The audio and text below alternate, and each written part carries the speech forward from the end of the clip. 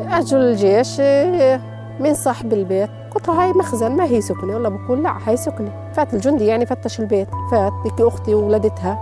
وكانت عندها مرت أخوي قاعدة بتلف في ملفوف مثلا بدها تطبخ تسوي غدا. لا بقول شو يا سلام هذا في تلفزيون في غاز في مرة قاعدة بتطبخ في فراش. هاي منه مخزن. اضطر إنه جوز أختي يرد يبيع الباز ال container تبعه ويرد ينقل على بيت دجن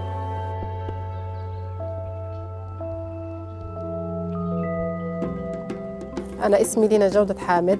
أخوتي كلهم في بيت دجن. طبعا أخوتي سبعة المتجوزين ستة كلهم ساكنين بيت دجن. إحنا موجودين طبعا بالفروش بدهم يضطروا يطلعوا على بيت دجن يسكنوا وطبعا يوم يوم يصير ينزل على مزرعته ويروح على شغله.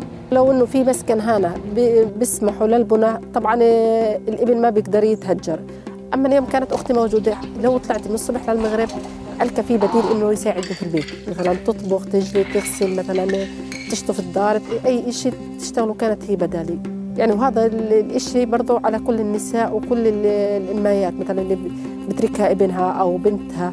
امي أنا مثلا هالساعه زيها تعب ويرهق عليها مثلا عندها مزرعة عندها غنم بيت أولاد فبتضطر تتحمل المسؤوليه كلها هي. كلها اسرائيل بتعمل على تشتيت للعيلة بدها تبعد الابن عن أمه. يعني أحسن هسه بيت دجن إذا بروح عليها يومين أو ثلاثة بزهق. أما هنا منطقتنا القريه اللي تربيت فيها وعشت فيها. يعني من يوم ما ولدت وأنا فيها عايشة. طبعا راحة نفسية. يعني الواحد بلف بلف وين بلاده برجع بقول يا الله محسن ريحة بلادي اللي عشت فيها وتربيت فيها.